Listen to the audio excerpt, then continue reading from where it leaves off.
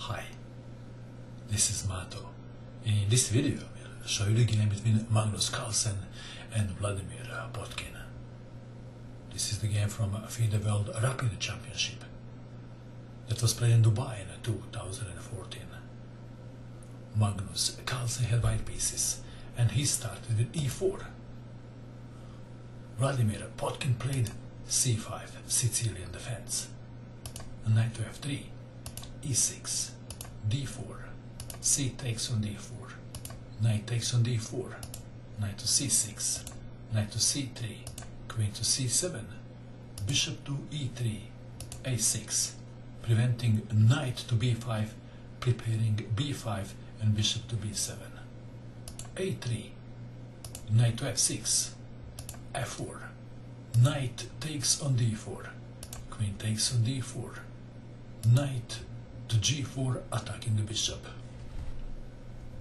White to move. How should white continue?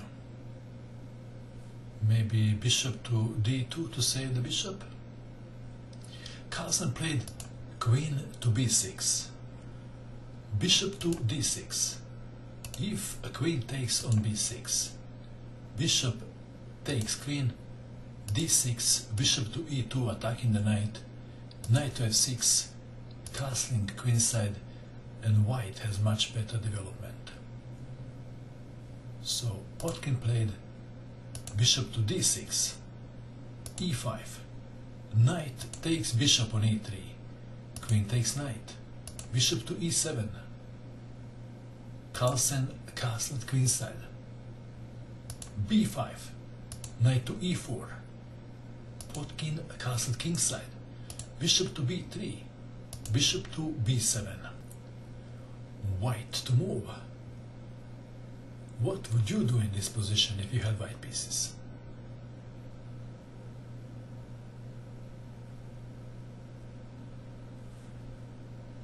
Carlsen played knight to f6 check. Bishop takes knight. If pawn takes on g6, then queen to g3 check, king to h8, queen to h4 threatening checkmate, f5, queen takes bishop on e7. So you have bishop takes on f6, pawn takes bishop, g6, f5, clearing the path for the queen. Queen wants to come to h6 and then queen to g7 checkmate. Queen to d8, queen to g5. If queen goes to h6, the queen takes pawn on f6, there is no checkmate. So Carlsen played queen to g5, rook to c8, f takes on g6, f takes on g6, white to move. What would you do? Please pause the video and find the best move for white.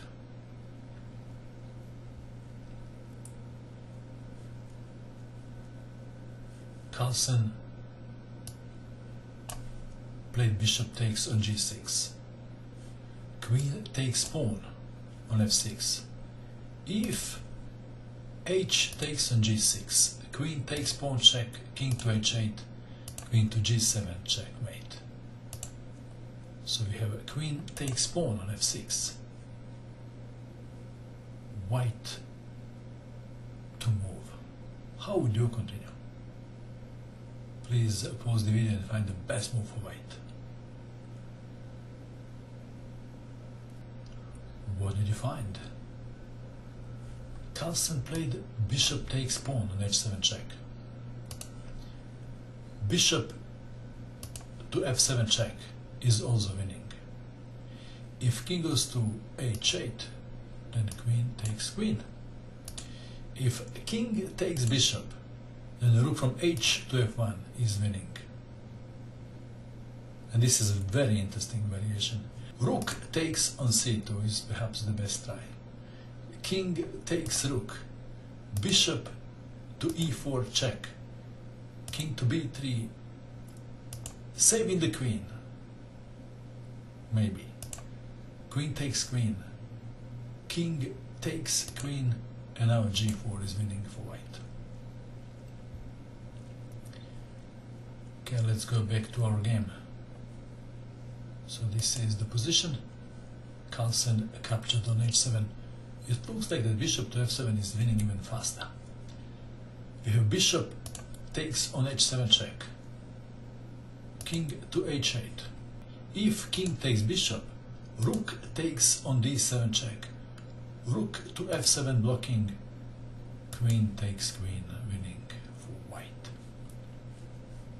So after check, Potkin played king to h8, queen to h5, threatening some kind of discovered check. King to g7, rook takes on d7 check, rook to f7, bishop to d3, queen to f4 check, king to b1, rook takes rook, queen to h7 check, king to f6, queen takes rook, and black resigned. One possible line goes like this. Saving the bishop and the queen by playing bishop takes on g2, preventing rook to f1. Then rook to e1, threatening queen or rook takes on e6, defending queen to e8. Black's biggest problem is his exposed king. For example, if queen goes to g5, then there is checkmate.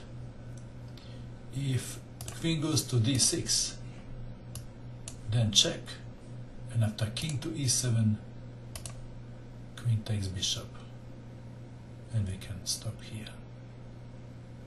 How many moves did you guess? Let's go back to these very interesting positions of the game. So this is first very interesting position when Carlsen sacrificed the knight. Did you see knight to f6 check? What about move 21? This was easy to see, wasn't it? Bishop takes on g6. And in this position, what was your choice? Bishop takes pawn on h7 or bishop to f7 check? Or something else? What do you think of this game? And that is all. I hope that you enjoyed watching this video. I wish you good luck with your king hunt and bye for now.